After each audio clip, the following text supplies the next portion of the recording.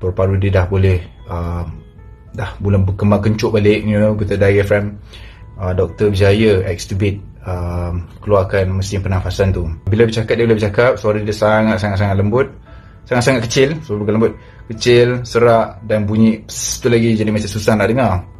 Dia ada demam sikit kadang-kadang badan ni panas jari-jari dia dah lama tak pakai ni semuanya keras beku. Sudah sudah lah tu dengan buat spekulasi tentang apa yang menyebabkan penyakit dia, apa apa sakit dia semua benda lah ni. Tak tolong diam lah. Kan, tolong lah diam. Bukan saya je rimas tau. Saya tengok macam orang yang reply kat DM saya ni, semua pun rimas. Okay, about Nak Zainal, Alhamdulillah, uh, like I said, day by day, dia banyak improvement. Uh, dia, recovery dia baik, bagus. And up until today Around 5.30 gitu 5.30 in the morning uh, Doktor berjaya extubate um, Keluarkan mesin pernafasan tu. So sekarang ni dia on um, Saya lupa apa nama dia Macam high force You know High high. Dia pernafasan yang biasa tu Tapi kuat With the airbag tu. Uh, Tapi kuat Bunyi. So Dia sedang uh, Menggunakan itu Rather than tube dalam tu dah tu dah Walau bagaimanapun dia masih lagi dalam ICU Pengawasan rapi. Um, Kerana Kita doakan semuanya mudah Semuanya dengan lancar Semuanya selamat. Sebabnya kalau If at one time Tiba-tiba dia You know Waliyazubillah uh, Apa-apa hal ke uh, Mungkin Doktor akan Melancarkan prosedur yang lain uh, Untuk memastikan oksigen sentiasa cukup So even now dia punya oxygen pun uh, wavering you know 90 to 100 tu. Uh, sometimes mungkin drop lagi bawah sikit lagi. Sebab dia baru first day dia nak catch up balik dengan uh, paru-paru dia sendiri. So dia masih uh, bila bercakap dia boleh bercakap. Suara dia sangat sangat sangat lembut. Sangat sangat kecil suara bukan lembut. Kecil serak dan bunyi pss, tu lagi jadi macam susah nak dengar. So tapi in terms of movement dia ke apa benda ke dia boleh lah pegang phone tapi dia tak boleh type you know. Dia masih perlu fizio lagi. Jari-jari dia dah lama tak pakai ni semuanya keras beku. Uh, taklah keras beku maksudnya dia you know stiff. Everything is stiff. Uh, so sekarang ni uh, itu semua aside boleh ada fizio insyaAllah.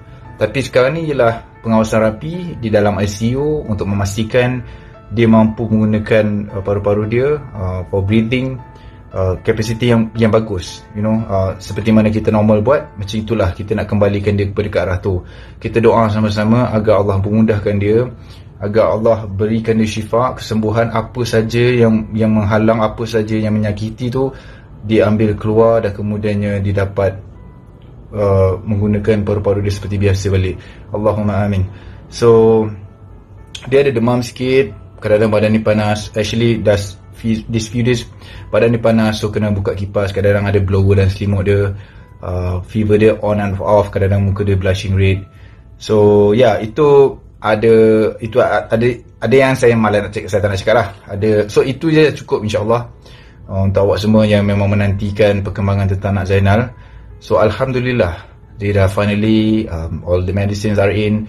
Dia tu dia dah paru-paru dia dah boleh um, dah bulan berkembang kencuk balik you know kita diaphragm. And then kemudiannya um, dia dah extubated dia dah cabut dah. Kerana selagi benda tu macam saya cakap itu kalau selagi benda tu ada saya tak keruan sebenarnya. Uh, sebab you know we don't you know tak sepatutnya macam tu kan? So kita nak dia kembali macam biasa insyaAllah. Uh, kita terus doakan dia. Saya pun sangat doa daripada kamu semua. Uh, sedekahkan juga um, uh, surah kepada benda kau. Kalau boleh baca apa-apa surah kalau malam ni suratul kahfi uh, mungkin awak boleh sedekahkan separuh daripada pahalanya kepada dia kalau awak baca malam ni. Dan juga kalau um, dah malam Jumaat dah pun uh, if you want to go for some donation boleh donate di sumbangan tu. Uh, boleh sumbangan ke uh, Nak Zainal. Uh, if you have too many questions if you have too many doubts about um, duit ni akan ke mana siapa yang akan audit siapa yang akan inspire ni okay jangan donate.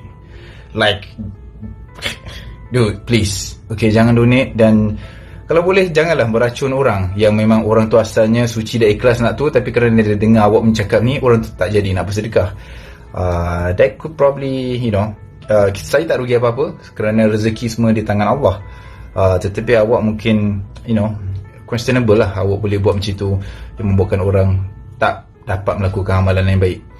Okay, so uh, Friday night, uh, macam saya cakap tadi, kalau boleh teruskan berdoa pada uh, tentang kesihatan dia. Okay, moga-moga dia betul-betul kembali normal, kembali seperti sedia kala dalam waktu terdekat insya-Allah taala. Ke Allahumma amin.